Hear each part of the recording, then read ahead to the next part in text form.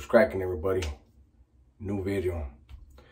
So, um, I've wanted to stay out of this um, topic regarding the, the men that were killed by the CO in High Desert the other day, right? I saw a lot of videos on it, but then I was thinking, you know what? Um, I don't know if anyone has really touched on the realities of the situation, done it any justice, and made you guys out here aware of the seriousness and what's going on. And so I, I, I felt, you know what? I know that I know what my boundaries are, my personal boundaries that I place upon myself as a content creator. And I'm going to go ahead and make a video within my um, comfort zone, okay? So as we know so far, an incident occurred. We don't know who was the aggressors. We don't know we don't know anything. We just know that men in prison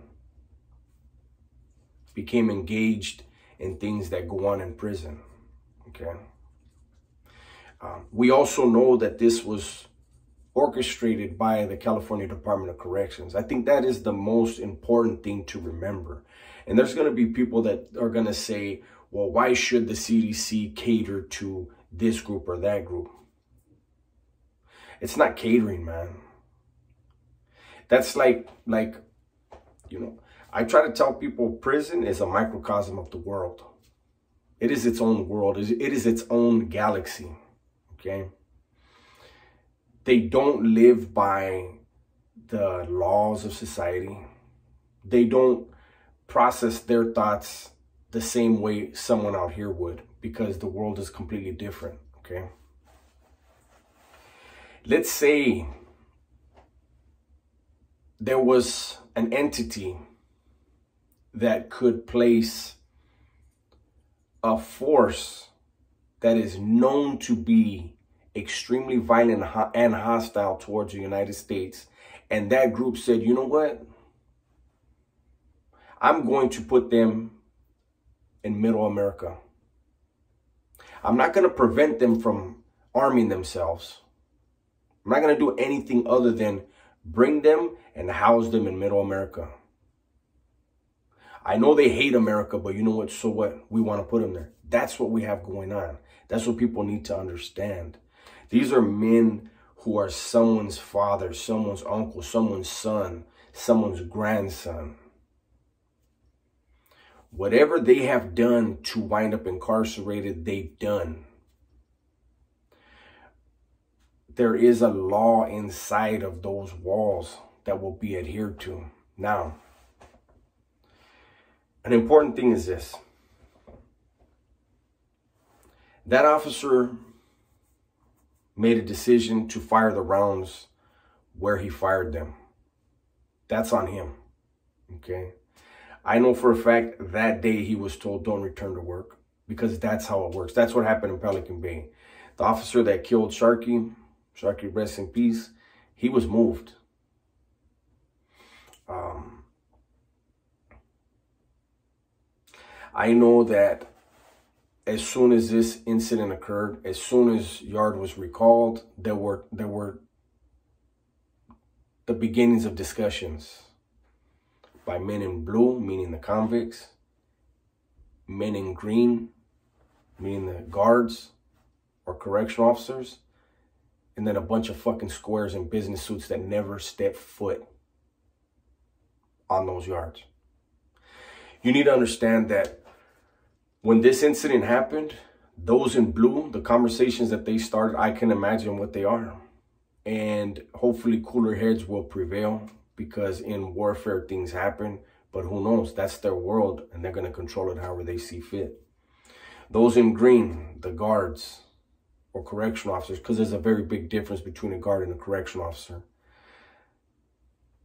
They know that just like the Bulldogs, this is this is a very important point that I haven't heard being mentioned on any other video so far, and I need to stress to you guys. the guards and the COs are in the same position as the Bulldogs. And what I mean by that is the administration, these fucking wardens, these associate wardens, these these these people in Sacramento, they do not walk the yard.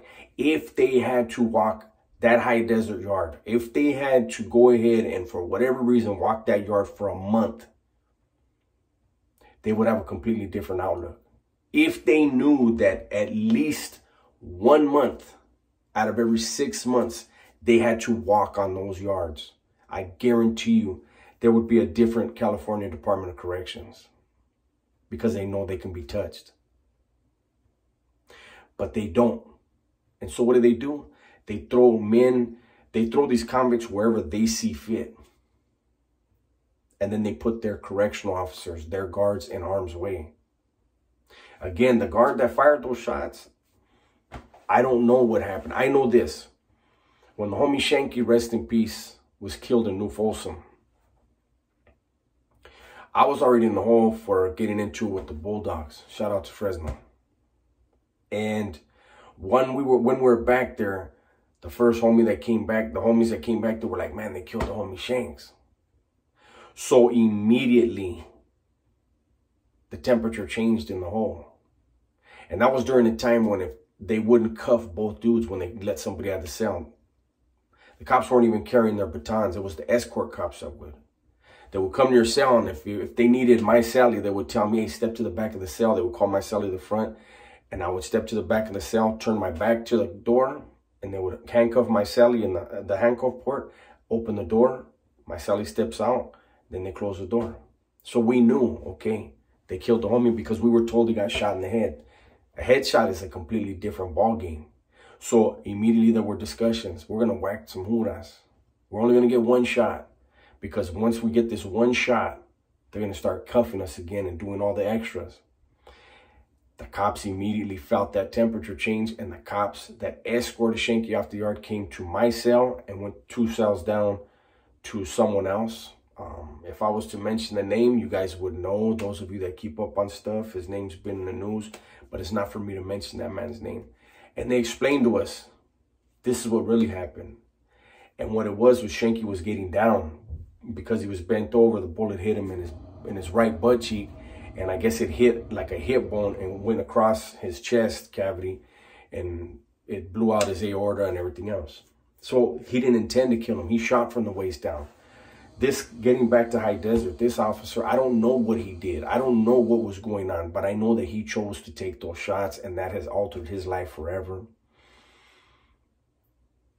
but even though he chose to take those shots and live that dangerously the administration made it all happen i hinted at it the other day there can be a yard that there may be somebody there that that sacramento wants to place in harm's way for whatever reason, what do they do? Send bulldogs over there. See, because everyone else, for the most part, is getting along. Do you think the CDC likes that, that these individuals are getting along? They don't. They want bloodshed. They want violence. You know why? It's job security. It is an industry that's costing this state, what, close to 20 billion bucks, if not more now?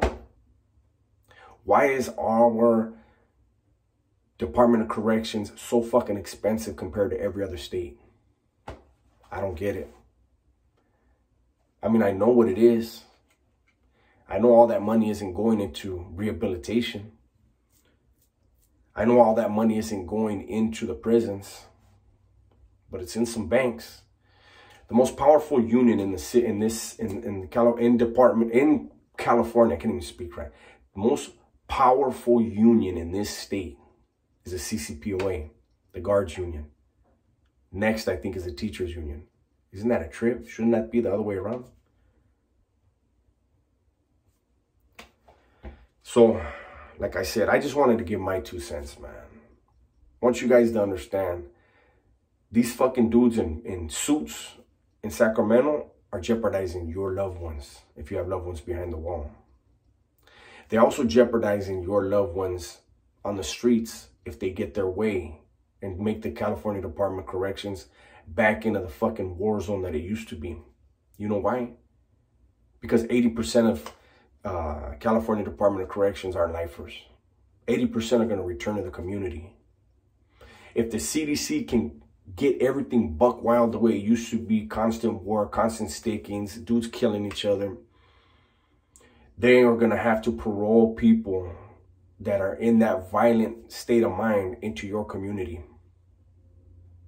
You think they're gonna they're gonna get out and just be um without decompressing at all, um, without having any positive interactions with people? You think they're gonna come out and they're gonna be perfectly um well put together in their heads? Think of how it was before when in, in the 90s when you had all these dudes coming out. I'm not going to get into all that stuff. I just wanted to make you guys think about that. Something needs to be done about the way that they run this department. You know, up until recently, California had the biggest prison system in America. Now I believe it's Texas.